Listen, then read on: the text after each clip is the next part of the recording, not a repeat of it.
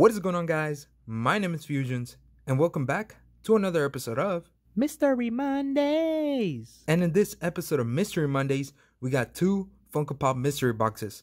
One is from Toy Maze Collectibles, and the other one is from Chalice Collectibles.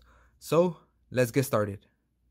Alright guys, so I know last week there wasn't any Mystery Mondays video, and that's because the boxes um, did not get here on time, but luckily this week we have two boxes to unbox for you guys. The first box that I want to open up is this one right here, which is the Chalice Collectibles box. You guys know how these boxes are. They're $15 each and they can have some really nice pops inside. Uh, you guys will see on screen now the full list uh, I usually never put the full list, but today we'll put the full list on screen so you guys can see what we can get out of this box.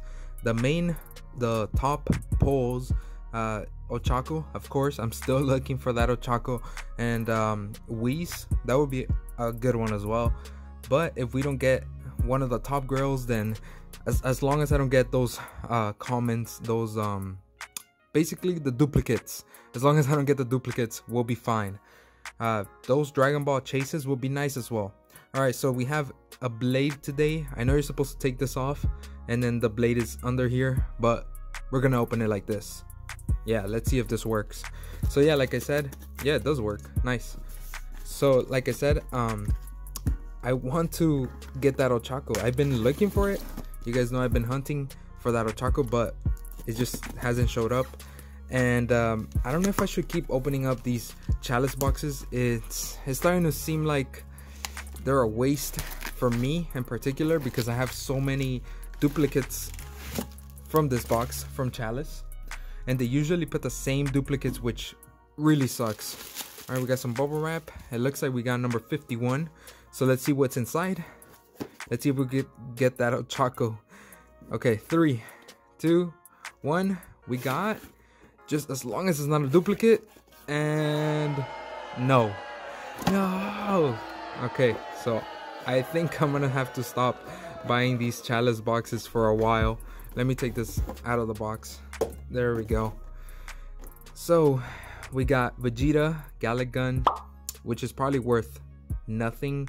I do have like I think I have three other ones. I mean, you guys can see one right there already and besides these two i think i have another two so it's it's just not good this is not a good mystery box uh i don't think i'm gonna buy some chalice boxes for a while. I just don't want to keep getting these duplicates.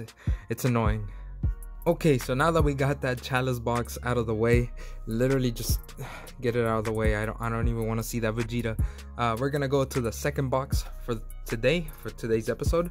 We got this toy maze collectibles mystery box. Um, I don't remember how much this was, but the pulls that you can get out of this one, they look pretty nice actually. Uh, you guys will see it on screen now. But the main pull that I want from this one is right in the middle. As you can see, that Bakugo, that would be a good one to pull. But any of them that are on that are on screen would be very nice. And there was only 50 boxes available, so we have a pretty good chance of getting one of those on screen. So let's see what we get again let's take this out let's see if um does the work i'm pretty sure it will it did it with the chalice box. And i'm not sure if these come in protectors. I feel like they do but i'm not sure. We'll see. I'm just hoping we get one of those uh pops that were right in the front of the picture. Especially the bakugo. That might be another one that i, I might start hunting for. Just like the ochako all right so let's see what we got. We got Oh my god, I think I saw something. Alright, we got this Toy Maze Collectibles card. Thank you. Nope, thank you. Alright, cool. And then I think I saw something. I don't want to look. I don't think it comes in protectors, but I just want to take it out. There we go.